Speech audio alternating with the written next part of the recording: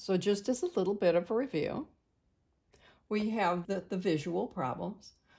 And the first one is talking about uh, what's the sign of delta S for the system and for the formation of frost on the window pane in image B. Okay, so living in California, you probably haven't seen this happen too often, but when does frost actually form on a window? It happens when it's really cold. There's a formula that would be applicable for the frost forming on the window. It's happening from the water vapor in the air condensing and not only condensing, but solidifying, right, on the window.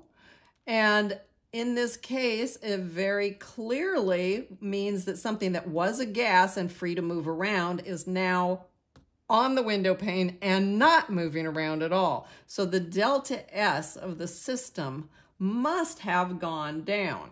It's a negative. It would have to be negative for delta S because products minus reactants. That has less, this has more. I'm subtracting more from less. I've got a negative sign. What we do know, just from living, is that this would not be spontaneous during the summer in Merced. So not spontaneous at high temperature. Now we're going to look at image H.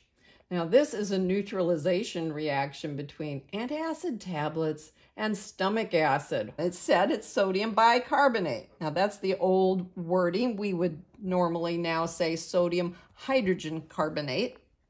And they said stomach acid, hydrochloric acid. And both of these are aqueous. What's going to happen? Well, we're going to have some stuff be switching what it's applied to. We'll take the sodium and combine it with the chloride, and that will be aqueous because everything is still aqueous. And then I would say initially that I was forming carbonic acid, but carbonic acid is not stable. So it would continue from here to decompose into water and carbon dioxide. And that's the source of the bubbles that you see right here are those are carbon dioxide bubbles coming up out of the solution as it happens. Now, it says from all that, I'm supposed to come up with the sign, whether it's positive or negative, of delta S. Well, this was aqueous, remember, to begin with. And this was aqueous to begin with. And now I'm creating well, a liquid, so what? I'm also creating a gas. Oh, here, this is aqueous, right? Because this is still with us. I just took this last part and said what happened to it. It continued to have something happen. So ultimately, I'm saying two aqueous things combined and gave me an aqueous, a liquid, and a gas.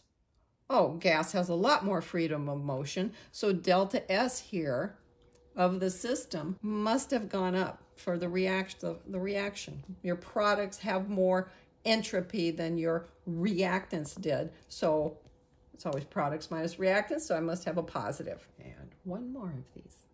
Number three. They're going to mix A and C to create E. And it wants to know, did the entropy increase, decrease, or remain unchanged? These were separated, and they were each in their own container. This container looks like it's bigger than either of these. And these things are mixed. So I would say that that looks more chaotic. And I would say that the entropy must have gone up. But just in general, whenever you have a situation where you have mixing, your entropy is going to go up.